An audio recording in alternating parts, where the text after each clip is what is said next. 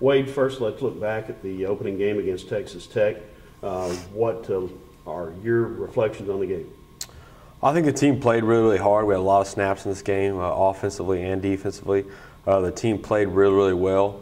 Um, looking back right now, I see one of our weaknesses is our discipline. I think you'll hear that uh, kind of across the board from coaches to players.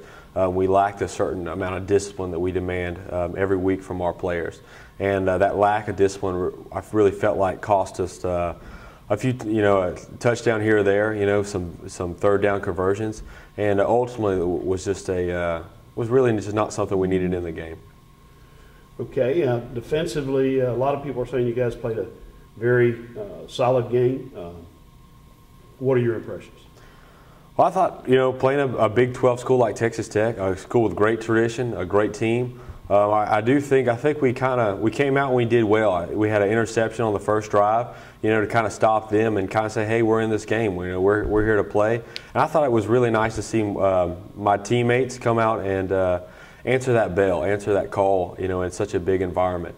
Uh, it's always nice to see those kind of things. Uh, but overall, I was impressed with our effort uh, throughout the game, and we just like to see, you know, some some better things as far as discipline. All right, let's look ahead to this week in uh, the Arkansas Monticello Boll Weevils. Obviously, a, uh, difference in the level of competition. Uh, this is a team that opened up with a shutout win on, off- on defense and a 78 point performance.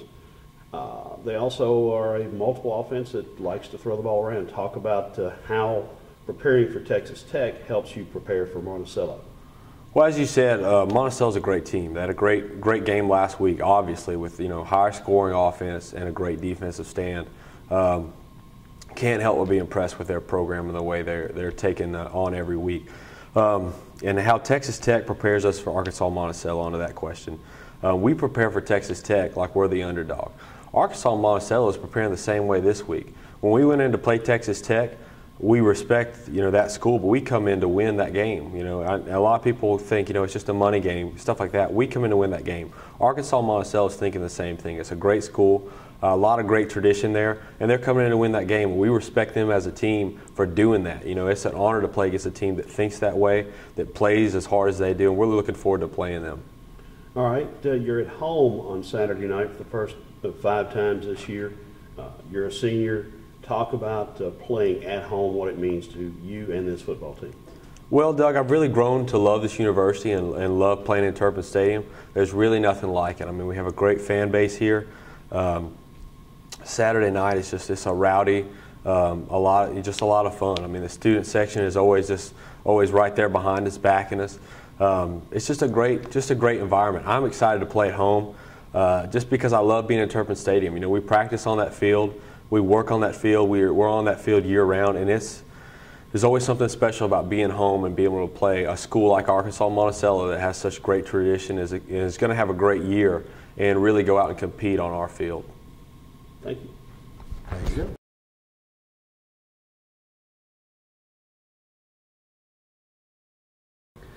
We're with senior kicker John Shaughnessy here discussing both last week's game against Texas Tech and uh, Saturday's home opener against the Arkansas Monticello Boll Weevils here in Turpin Stadium at 6 o'clock on Saturday evening.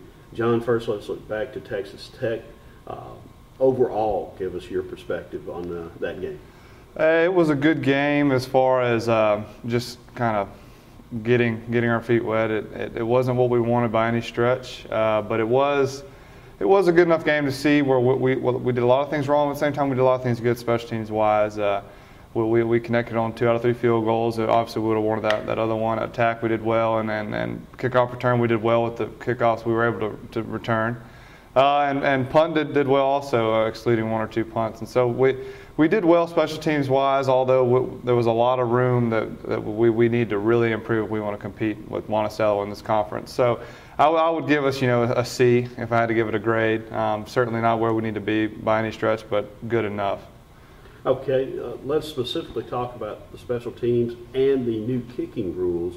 This is the first time you were in a game where you're kicking from the 35 and uh, different things. The touchback comes out to the 25. Uh, now that you've been through a game, how significant were the changes to you? Uh, well, I enjoyed. I really did enjoy the changes. It, it, did help being in West Texas and kicking off in that dry climate. So my kickoffs, you know, carried a little bit. Um, and, and like I said, what, what attack was, we didn't have to cover very much because of the, the wind and the dry air. So I, I, I really liked, liked the changes as far as for firsthand experience.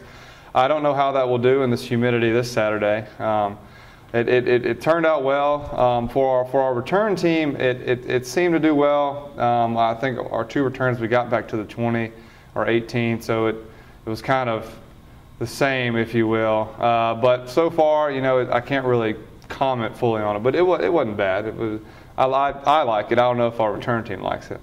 Okay, let's talk about a couple of things and how you react to them both individually and team wise. First, individually, um, the streak ended you missed your first field goal in forever. Uh, you came back with your second and third longest ever, and they had a lot of distance to spare. So, talk about putting that miss behind you, having the streak in, and then the kicks that you made.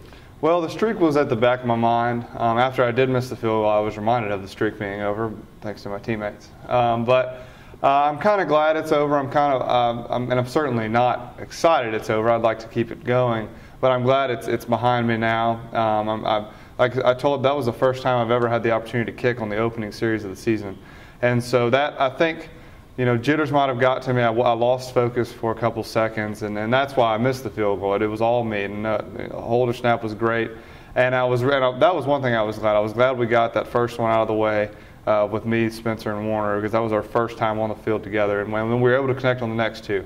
So I was very proud of them doing a great job, and, and I'm glad I got that, that ugly mess out of my system. Now, being 16 out of 19 on your last 19 field goals, that's pretty good consistency, so that'll work out just fine. Now, let's talk about the team's overall mentality. When you come out of a game like that um, and you're going forward, what was the mood post game? What's the mood this morning? And going forward this week? Oh well, immediate post game we were disappointed because we all knew, uh, like I said, I, would I'd give our greatest C. Uh, like we know, we know we did not play to our potential. We know that we could have done a lot better in that game and possibly won the game. Uh, and so we were at post game. We were kind of you know distraught, kind of kind of wanting to get back out there. And I felt like just ending our workout that we're ready. We're ready to get back rolling. We we we're, we're hungry, if you will, to get to get that next game behind us and win and, and keep moving forward and we're, we're focused on this one, on this this Monticello team because it's going to be a good Monticello team, and so it's the, the mood the mood is good. I, I, like I like what we're doing right now. We just finished a good hard workout, and so I'm, I, I know we're ready and we're focused. This this this loss will be behind us after this evening's film session, and then we'll be ready to roll. Okay, let's talk about uh, the, the Boll Weevils, Division two team that scored 78 and gave up none in its first game last week. Um, last week you guys were the ones looking up divisionally. This week you guys are looking down divisionally at a Division two team. What's the difference in preparation? Well, there can't be any because uh, since I've been here, the two Division two teams we've played would beat them by a total of four points. And so there's no, and, and both of those with Tarleton and Delta, they were both very good squads. And so I don't expect anything different from, from Monticello. And uh, I think they beat the team that beat Delta State last year. Uh, so that's, you know, they're going to be a good team, and so we cannot let up at all. I think we're actually going to be a little more motivated than we were last week because we know we know what it takes now. We know what it takes to, you know, win and, and play another team.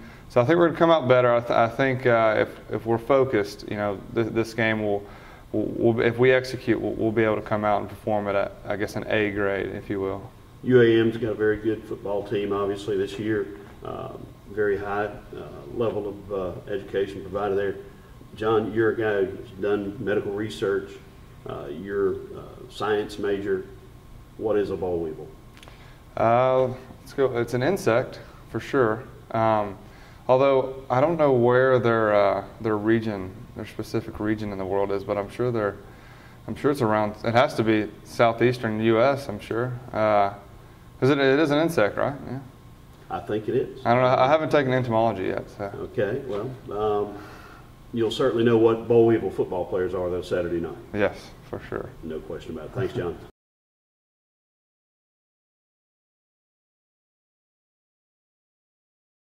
We're with head coach Bradley Dale Peveto, looking back at the Texas Tech game, looking ahead to the home opener Saturday against the Arkansas Monticello Boll Weevils here in Turpin Stadium.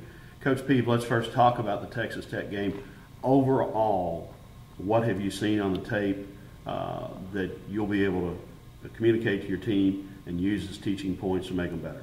Well, too many missed opportunities. I mean, we had a lot of chance to make plays and didn't.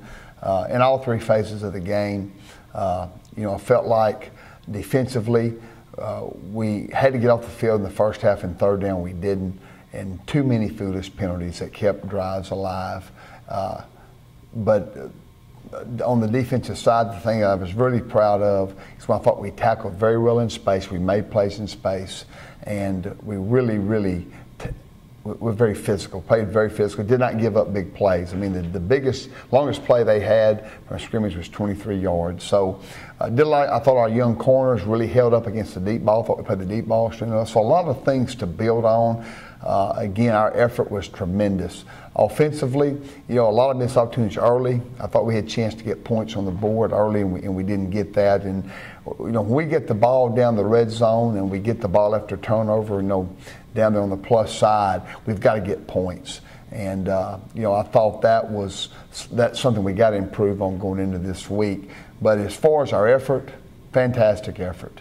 Uh, as far as the Boll Weevils, I mean, we were, they're coming off a great win against um, uh, their first opponent, winning 78 to nothing. We see a lot of speed. We see a lot of talent. We see a very well coached football team, and you know, it's not too far in the past. The Delta State scare uh, where we were down 17 nothing halftime. So we have a lot of respect for these Division two opponents because they got great players and they're well coached, and we'll have our hands full on Saturday with the Boll Weevils. All right. Offensively, were the problems at Texas Tech uh, uh, schematic? Were they execution? Or was it just that Texas Tech was that dominant? I thought Texas Tech, I mean, you got to give them a lot of credit. I mean, they're a Big 12 opponent. Uh, they played very physical. You know, and uh, it, it, was it was a combination. I mean, we've got to be better at executing, and uh, but at the same time, I thought Texas Tech really played well defensively, and uh, you know, but we'll, we'll be better. I mean, we're, we got some uh, things we're going to do that's going to help us offensively, and uh, we'll be better this week, no doubt about it. How critical is it for your offense to come out and have a big night Saturday night? Yeah, I got to. You know, what we talked about, what we have to have, all three phases have got to take care of each other. And if we get that done, we're going to be a good football team. We've got to grow up as a football team right now. We're very, very close.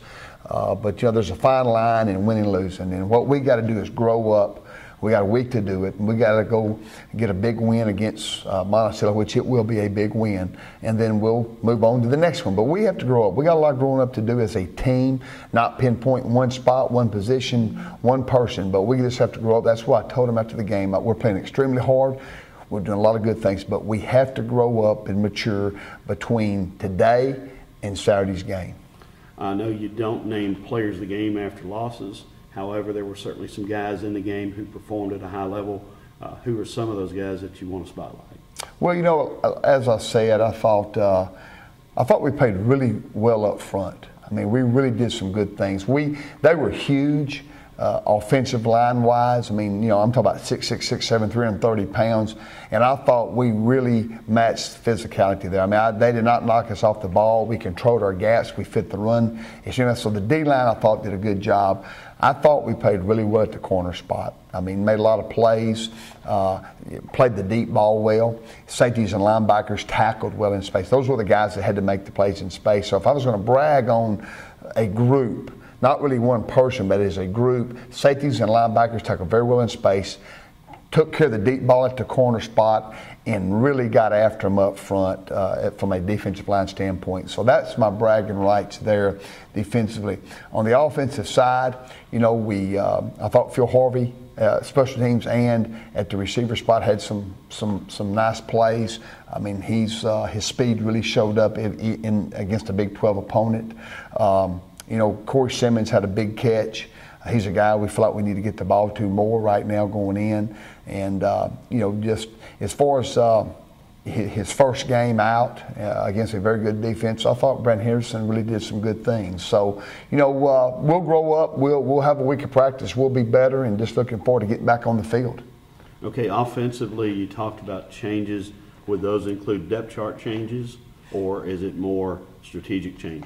Well, one guy we feel like we got to get a little bit, you know, there's some certain positions we feel like we gotta we gotta make come on, and one of those would be um, uh, Cody Jones. We, we, we got to get Cody going. I mean, he missed some of camp. He's an explosive guy that we feel like can, can help us. Uh, uh, another guy, that Rod Davis. Rod's got to come on. He's got to grow up. He's got to help us. He's a tall X guy that can run. He's physical. He can catch. That if they come up, man us up at the X spot, uh, we can reach out there and throw a fade, and he can go and get it. Uh, Chris Devers, another guy. I mean, we got to get. You know, one of our plans is to get him in the game more because he's a big, explosive guy that can run, catch, and block. Uh, and then Corey Simmons is a big, tall target. So, you know uh, not saying that we're, you know, other guys aren't doing good jobs, but those are some explosive men that can help us right now that, that have to come on and grow up and, and, you know, convince us we can get them on the field more and get them rolling and get the ball to them. Getting the running game going, obviously it didn't uh, succeed Saturday night. New defensive coordinator at Texas Tech, nine returning starters. Uh, are there schematic or personnel issues there or a combination of both? You know, I, I think we just got to be better assignment wise, execution wise there. You know, we had some bad snaps. Uh, in our option stuff that I, I, thought put us behind the eight ball early. But we just we have to execute better, and uh, and we'll, there'll be a few depth chart moves as well. But schematically, we, we have to execute better. Okay, the emotional mindset of this team uh, coming off of a game like that. Uh, how do you manage it during the week and uh, do you feel like it's where it needs to be right now? You know what? We were bright eyed, bright eyed and bushy tailed after the game. I mean, I got after him pretty good. Told him we had to grow up. We have to execute better. You know, uh, I think three years ago we would uh, sit around and maybe uh, that might have been a moral victory for us. But you know, we, we were disappointed in our play, and that's the difference in where this team is and where the teams of the past have been. You know, this team expects more. We expect more. They know that we could play better, and they know that if we play a little better at a couple of spots uh, and improve a little bit, we're in that game that game, the score of that game is not indicative of how we played. So, you know, we, we have to, we control our own destiny. I mean, it's, uh, and most of the, the, things that we did that put us behind the eight ball was us, not them. And I'm not taking anything away from Texas Tech because I think they're a great football team. They will be in a bowl game. I predict that.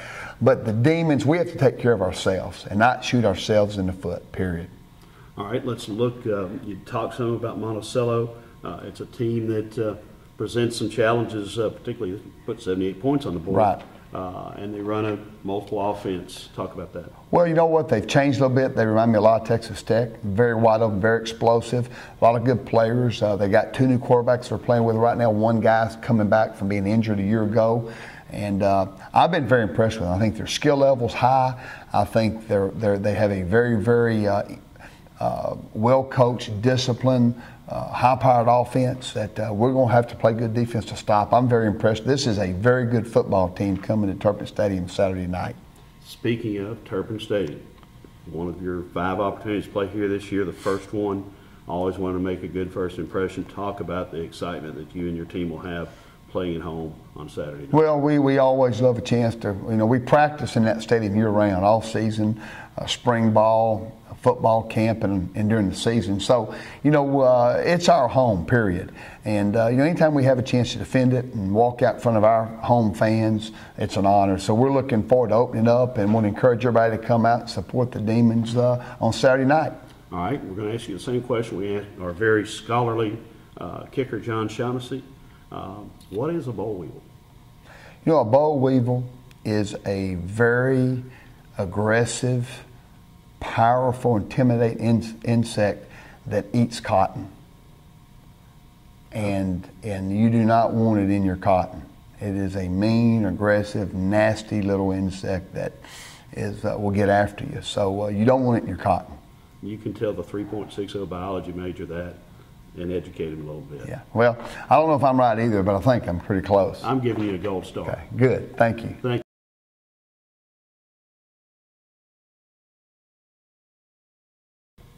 Senior receiver kick returner Phil Harvey is with us to discuss last week's game against Texas Tech and then this week's home opener against Arkansas Monticello.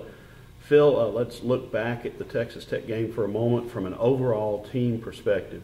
As you guys walked off the field, as you made the long trip home, and as you are talking to each other today, uh, what does the team take out of that game? What lessons were learned, and, and, and what does the game do for us? Uh, we we learned we learned a lot from that game because we we thought we should have won, but we just came up short. So we just learned that we need to play 100% all the time and get the job done, no matter what. Okay, from an offensive perspective, obviously we struggled moving the football consistently. Uh, what are the things that you think we can improve upon going forward? Uh, just just believe in our coaching. They they they gonna coach us right, and we just got to believe in them. Uh, if there was an offensive bright spot Saturday night, it was you catching the passes and, and running the ball back. Talk about your individual play on Saturday night. Uh, I just went out there like it was another game, my last season here, so I have to play as hard as I can. Okay, let's talk about your uh, accomplishment that was culminated Saturday night. You are now the Northwestern State University career kickoff return yardage leader. You average nearly 23 yards each time you touch the ball in a kickoff. Uh, you're also eighth all time in Southland Conference history and can move into the top five pretty quickly.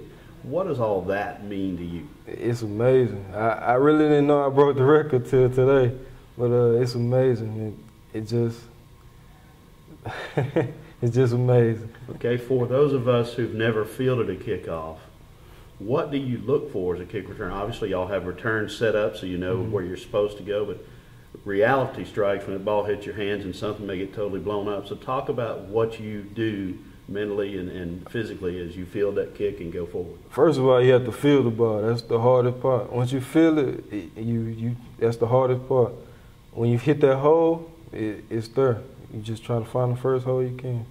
Now, you did some moving around on your 37 yard return. Talk about that play and, and how you found the space. Uh, they was they was uh, they was closing hard on the right side, and I just tried to hurry up and get to the, the other side so they wouldn't get me. All right, now let's talk about something that uh, lives ahead, and that's the Saturday night game at home. What does it mean to you guys to play at home in Turpin Stadium? It means a lot. This is our last homecoming game. I mean, opening game. So we're gonna come out there and play like we never played before. For the offense in particular, after a frustrating night out in Lubbock, how important is it to come out Saturday night and be very productive? Uh, it, it's very important. We have to put points on the board, so our defense won't be on the field as much. We have to keep them off the field. Okay, now let's talk about something that I think you may know a little bit about. What is a boll weevil? Uh, I heard it's a it's a cotton eating uh, insect that uh, that f- used to put out farmers, and uh, we just gonna put them out. There you go. Phil Harvey, thank you, brother. Congratulations on the achievement. Thank you.